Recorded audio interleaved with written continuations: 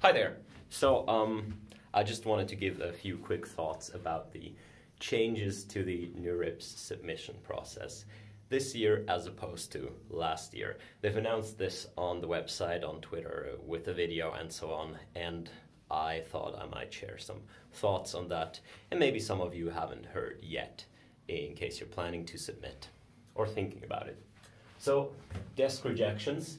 Uh, it, ACs, area chairs, have the ability to desk reject papers that they feel strongly are not going to be uh, passable to the reviewers.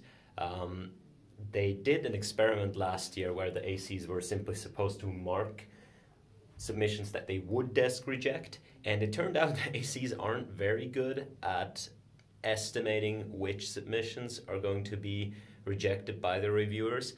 That might be because there wasn't really anything at stake, because it was just kind of a let's see how this works.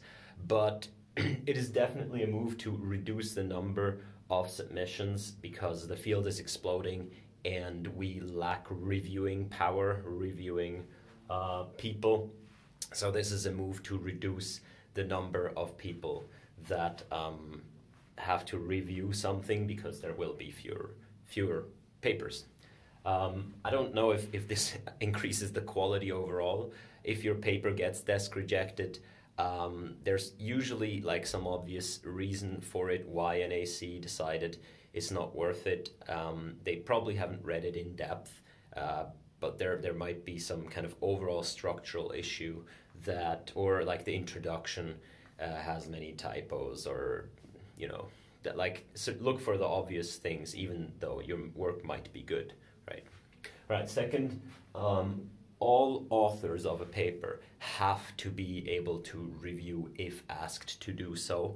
And again, this is a stab at this kind of reviewing crisis, but I have mixed feelings about this. Like, I really think this is a move in the wrong direction. It will increase the number of authors because a lot of people have been kind of free riding in that they're submitting papers, but they aren't reviewing other papers um, even though they would be competent researchers simply because reviewing doesn't get you anything. So there's no incentive to do reviews. Maybe you can say you're a reviewer, but then there's every incentive to do bad reviews, like two line reviews, where the first line says, You should have compared to my paper, reject. Like, fuck you if you're a reviewer like this.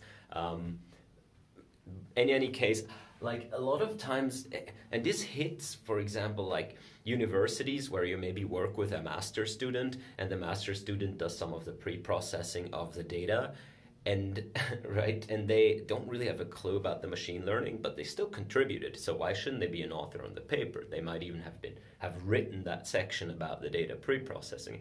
And now they're asked to review entire papers about topics where they're not really familiar with, or you have some outside collaborators, or you know, there are so many, so many um, things wrong. I think this attracts the wrong kind of people, and by forcing people to do it, you encourage even more. Like all these reviewers that would not have reviewed, what will happen is they will give shitty reviews, and you will have even worse quality of reviews as a result. Um, I think this is the wrong move to reduce the number of load per reviewer. Um, I'd rather see abolish peer review completely in computer science, uh, in machine learning at least. That's my opinion, but that might be a video for another time. Um, I have plans how to replace it another time. Resubmissions have to be clearly marked. So if your paper is a resubmission of like if you had already submitted it in the last 12 months, it's been rejected, you have to say it is a resubmission and the changes you made to the paper. Again, with a, with a with a peer review process that actually works, this would make a lot of sense. You can say, well, it got rejected last time, and here is how I corrected for what the reviewers criticized. But with the review quality right now, I mean, most of the papers, what are they going to say? Um, it got rejected for nefarious reasons because the reviewer had a bad bowel movement that morning and I didn't really change much. So you encourage people to kind of blow out of proportion the changes they made and, and put a lot of additional unnecessary work onto papers that would actually be already fine, right? So this, all of these things, they, they'll just, they are, they're forcing people to do things and then the incentives of what we want aren't aligned with what we give right? So what you'll end up with is lower quality reviews and lower quality work. So the next two points are of a different nature. Um, the first one though i yeah i that that will probably i mean even if the acs aren't perfect um, you know that that's a good move. I like that. Um, the fourth point and the fifth point are a bit different. Uh, the fourth point is there is a new section in CMT apparently where you have to describe the broader societal impact and ethics around your work. Like, how will your work influence society? What are positives and negatives? Ethical outcomes?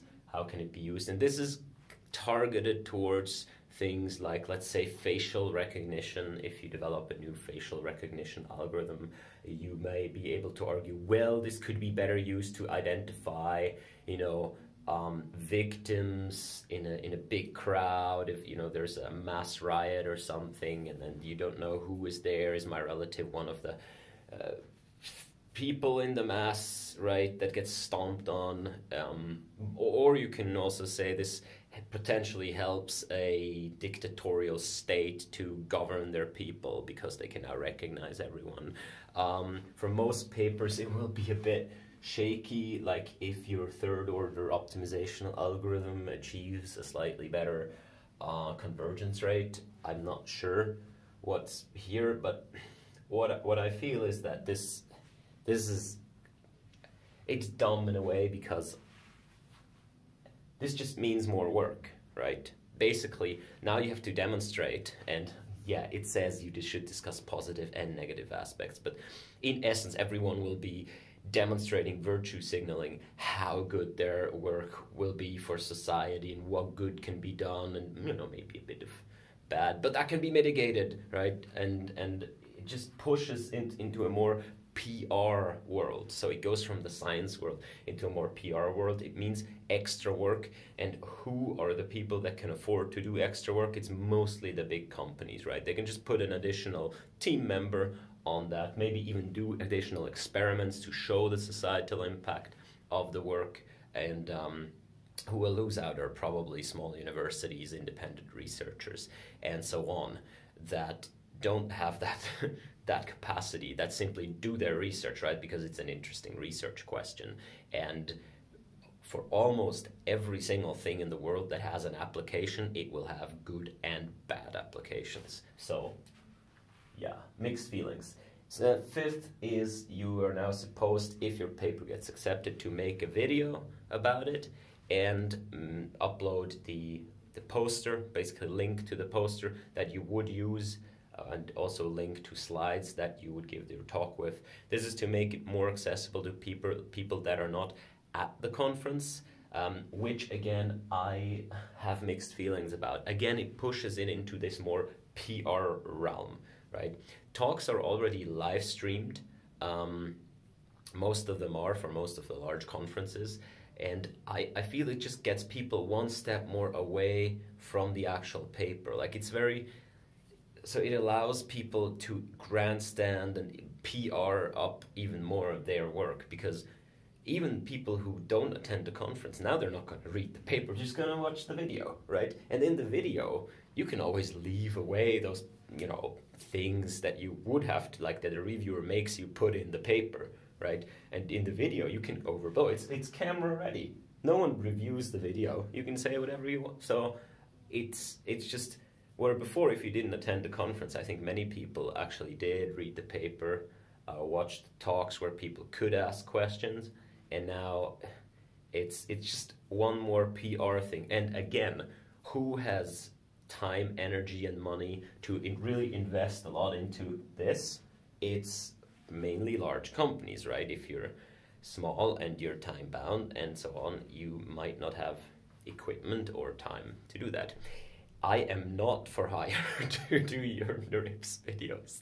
Just saying. I'm. Uh, I don't have time to make these videos really. As you can see on the stellar quality, I think there's a bright glare right here. Um, so that was it for my uh, opinions on this, and I wish you a nice day. Bye bye.